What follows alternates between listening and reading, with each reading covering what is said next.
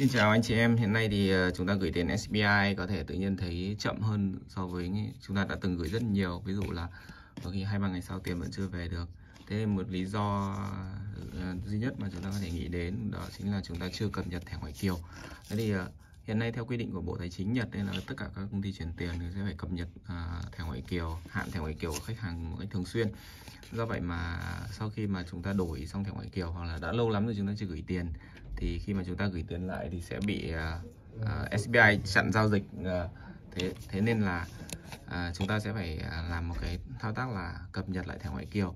Thế thì um, chúng ta giả sử là có hai hoặc là ba thẻ SBI thì chúng ta chỉ cần cập nhật cho một cái thẻ SBI thôi. Bởi vì cái mã sender tức là người gửi người gửi thì à, các bạn sẽ nhìn thấy là sender là giống nhau. Thế nên là chúng ta chỉ cần làm cho một cái thẻ SBI của chúng ta là được. Đấy.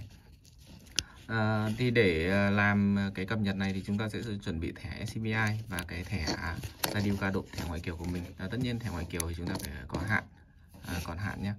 Ok, thế thì cách làm thì nó sẽ có hai cách. Một là chúng ta sẽ vào cái trang web chuyên để up thẻ ngoại kiều của SCBI thì mình sẽ để cái trang web ở dưới cái video comment phần cái phần giới thiệu video này.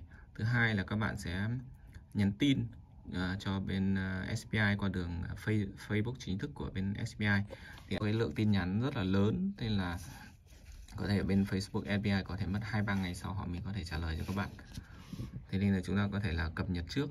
Thế nếu mà trong trường hợp mà chúng ta dự kiến là năm nay chúng ta gửi tiền chẳng hạn thì chúng ta nên nếu mà đang có thẻ ngoại kiều mới trong đây chúng ta có thể cập nhật trước khi chúng ta gửi tiền. Như vậy sẽ thuận lợi hơn cho chúng ta rất là nhiều ở đây chúng ta mở một trang web của Google nhé. Chúng ta đánh vào chữ kic.remit.co.jp sau đó các bạn tìm. Thế thì à, Google nó sẽ tìm ra định vị ra cái trang web của bên SBI chuyên dùng để cập nhật thẻ ngoại kiều. Đấy, chúng ta kích vào đây. Thì à, nó sẽ mặc định để tiếng Anh thì chúng ta chọn sang tiếng Việt. Đây là cung cấp thông tin thẻ ngoại kiều. Rồi chúng ta ấn vào đã xác nhận thông tin ở trên ấn tiếp tục. Thế thì khi này nó sẽ yêu cầu chúng ta nhập cái mã thẻ nhập mã thẻ hoặc là chúng ta nhìn thấy có cái chữ đọc thẻ bên cạnh này, thì các bạn kích click vào đấy để à, chụp ảnh của cái thẻ SBI của mình cũng được. Hoặc đây chúng ta nhìn trên thẻ chúng ta nhập vào cái dãy số của mình A001 bao nhiêu đấy. Hoặc nếu chúng ta click vào đọc thẻ thì à, bên trang web nó sẽ yêu cầu chúng ta cho phép truy cập vào camera. Chúng ta ấn OK. Đấy sau đó chúng ta để cái thẻ SBI của mình vào cái chỗ camera này để làm sao theo cái đúng cái góc nghiêng của camera để là ok sau đó mình click vào thông tin trên đã chính xác sau đó ấn vào tiếp theo là nó sẽ chuyển sang màn hình để chúng ta có thể đọc thẻ ngoại kiều Tương tự như đọc thẻ thì chúng ta sẽ để cái thẻ ngoại kiều chúng ta vào cái đúng cái, cái khung hình đấy xong chúng ta chụp ảnh.